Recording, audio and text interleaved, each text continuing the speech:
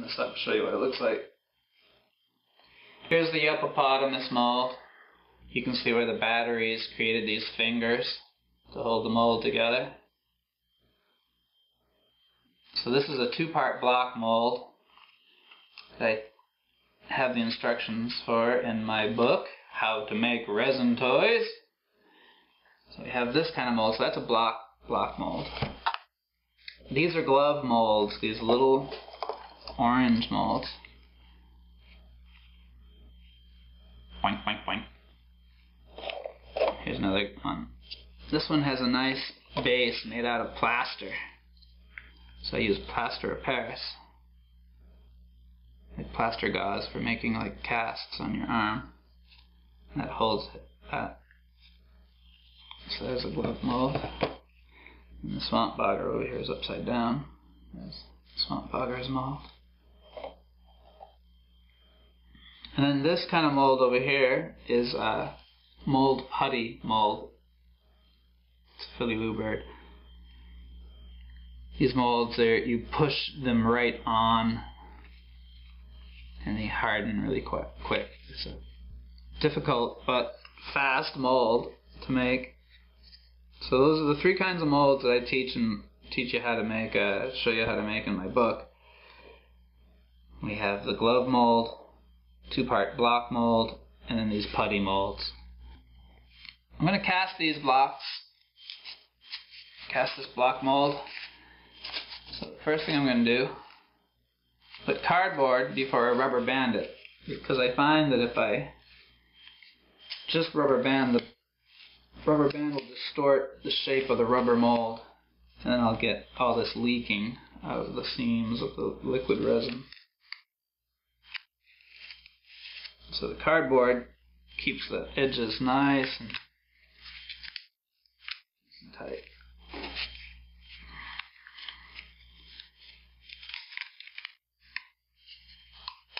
Try to rubber band it. I look inside there to make sure the seams aren't off, so I have to just try to use the light and look deep inside there and see that my mold is uh, not creating this weird wrong edge. You just want the edges to meet together to make your toy so it doesn't have this big seam down the middle. That's why the two-part molds, they create a seam on your toys. You might have to clean up with an X-Acto knife or something afterwards. So I like the glove molds. The glove molds can be seamless and you just sand the bottom of the toy that you cast in there. There we go. I also cast in a tray like this so if anything spills it's easy to deal with. It doesn't spill all over your world. Try to get my rubber bands on here before I cast. I got a couple cups. That's pretty clean.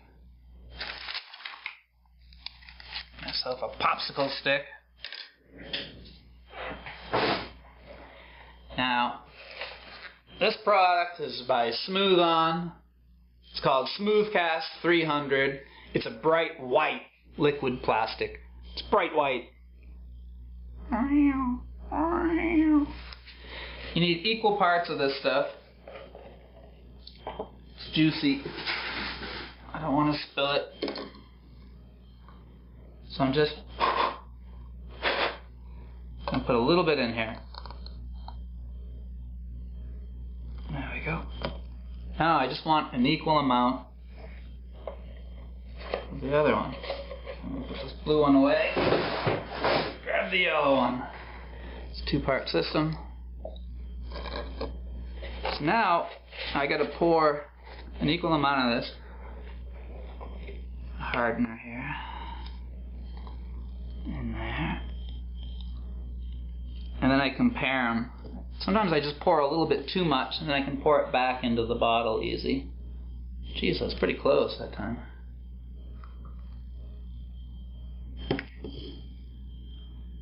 I kind of try to see it. Make sure they're even. I also know when I pour this one into this one, not all of it's going to come out. It's kind of gooey. So I try to, I allow the clear one to have a little bit more. Now if you're going to mix color into your resin, you would mix it now into this clear one. You would stir in your, your color into here. Um, I'm going to cast white toys today, so I'm not adding any color. But you would add it to here, stir it thoroughly, and then mix these together. You'll see that the uh, resin, when you're stirring the resin, it'll start really cloudy. You want to scrape the edges so that you get all the stuff that's on the cup to mix. And the more you stir, the clearer it gets. So you can see all these streaks. And it becomes kind of clear. Now you only have like a minute to be able to stir and pour this. This will get hard no matter what. Because it'll catalyze. It'll get really hot and catalyze. Alright, so now I'm stirred. I'm going to pour into this mold. Here we go, little Yupopotamus. Eat that. Now, Yupopotamus I cast in two different pours because he's got an air bubble in his chin. I'll get one in here. To the Philly Bluebird. I'm going to shake him around before he's full because his beak gets a bubble. And bubbles are a real issue. Trying to always design to go with the flow. It's not always easy. Here we go, there comes the little bush bat.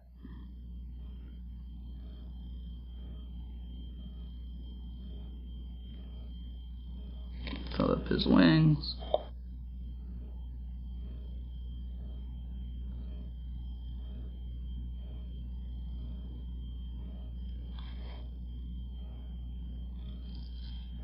Here's this little ghost.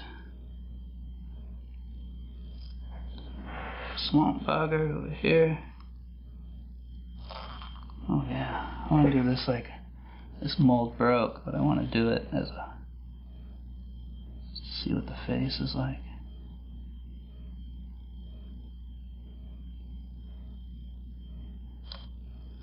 I still have more uh, mold medium, so I'm going to shake this around a little bit. See if I can get that Yupopotamus chin to cast right. Some more in there.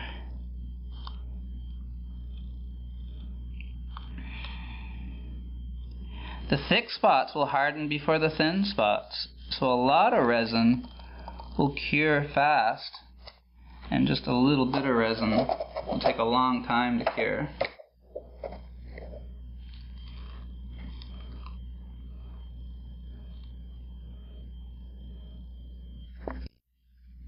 You can see the resin start to turn opaque white.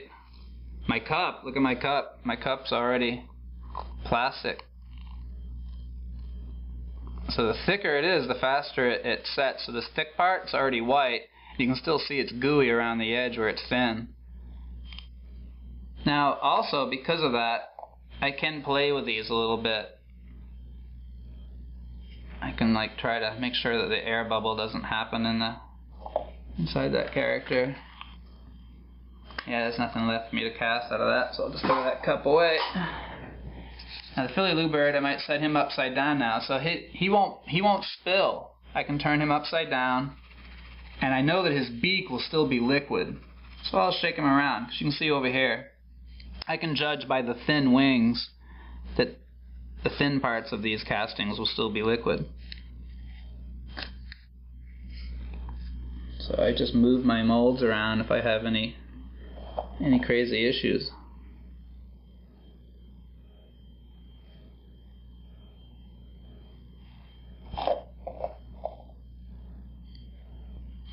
If you have bubbles like this, you'll end up sanding all this kind of stuff away later. So that's it. You can see that it's starting to cast up here in the wings.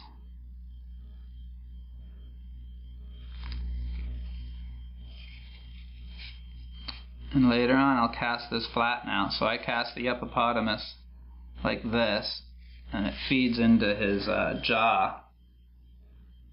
So his, uh, his jaw has a bit of an undercut and he gets bubbles underneath his jaw. So grab this guy.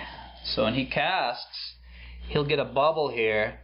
So when I cast him, I have to set him like this, and then this whole front of his face fills up the first cast, and then the second cast, his feet are flat by the second pour. So that's he has to be poured twice just to get around that little bubble that I couldn't create a vent. I carved a vent here, and it still wasn't enough to uh, take care of him.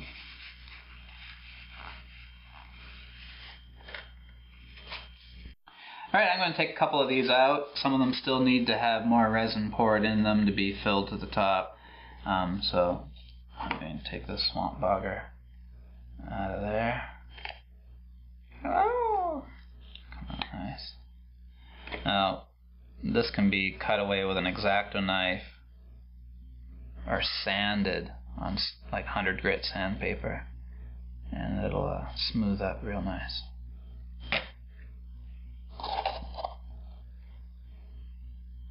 This one, this little bush bat here. How did you get that mold out of there? There we go. So, now this is just 10 minutes later after pouring. So this smooth cast 300 sets up really fast. Pretty cool. Now it's ready to be cast again.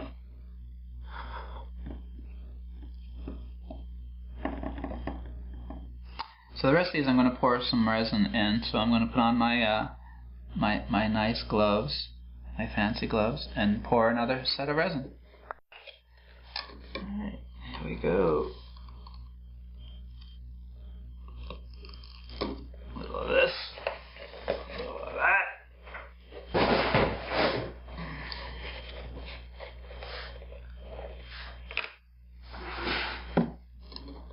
Now this stuff once it's mixed together,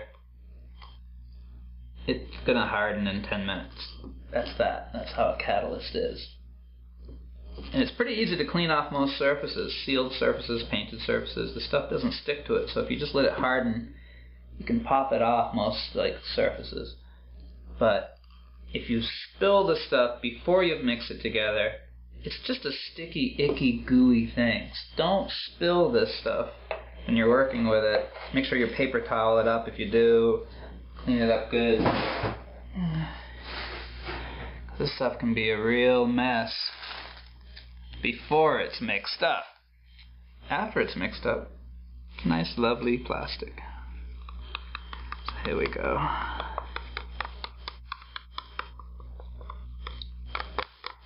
You can see it the way it's all mixed together. It looks like all kinds of little hairs or spider webs or something in there.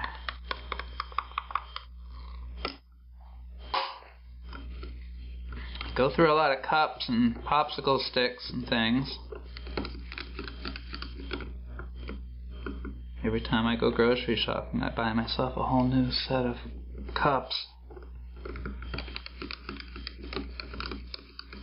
There, now once this is mixed up, I'm going to pour the rest of my Yupopotamus.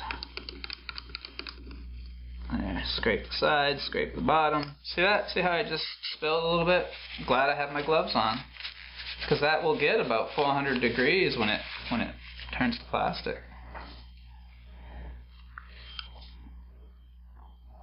Now here we go. Fill the hippopotamus up. Up. This poor spout is his feet usually the base or the feet of your character is a good place for your pour spout. Pour this another little pet animal. These are the four feet. I'm only going to stop when the resin comes up to the top of the feet. There it comes.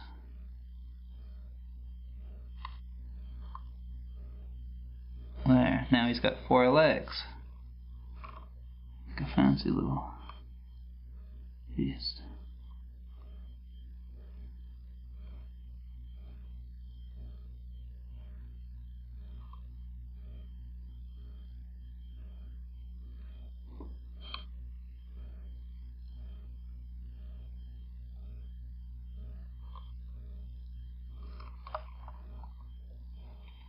What else do I have to pour? I want to finish these molds. It didn't quite end up going to the top last time. I'll try to see if I can get this back to fill up.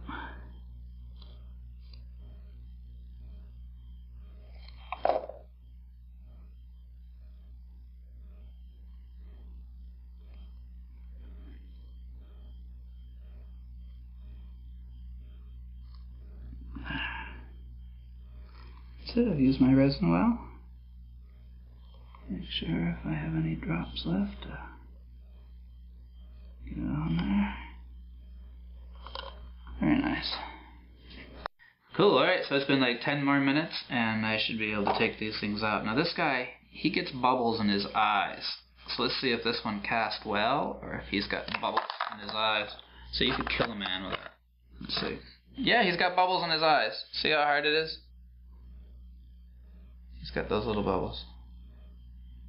So, so that's as small as he is, he still causes me trouble. Away with you, like that. All right, now let's push back. Let's see. This guy comes out pretty good almost every time. I like the bush bat.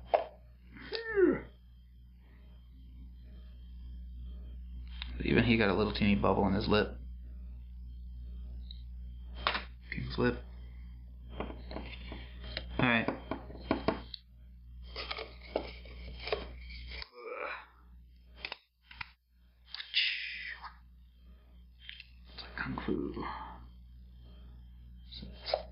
Press mold of this army guy. I'm gonna let him harden up. Still gonna let him like harden up a bit. His base is really thin, so that's the last thing to harden in this set. So I'm just gonna let him sit in his mold. Keep cooking.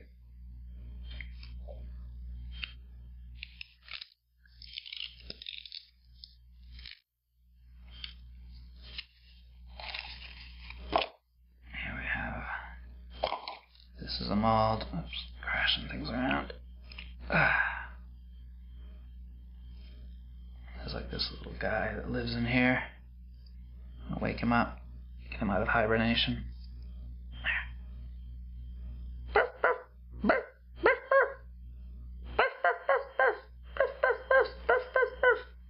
Terrible little creature. That's how that, that mold goes together. Now we gotta see if the Yupopotamus is in there. Hello, We've come to set you free. Hope we're not too late. You can breathe in there. Alright. Take off the support cardboard. And his ears kind of lock this whole thing together, so I gotta slowly open up the feet.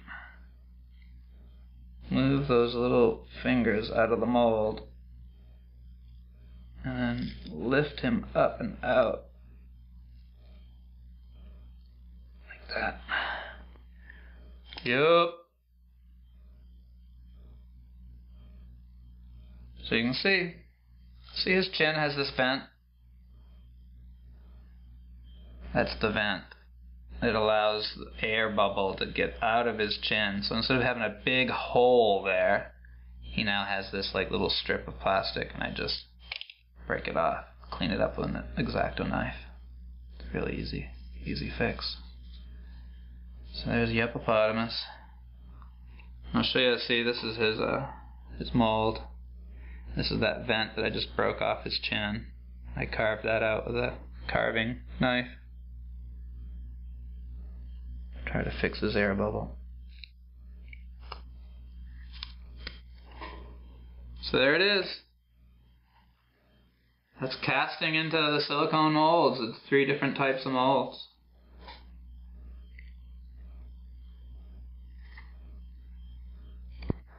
So make sure and check out my book, How to Make Resin Toys. You can get it at jemtoy.com. Just check out the books there. Thanks for checking out the video. Have fun making toys. Bye bye. Bye bye.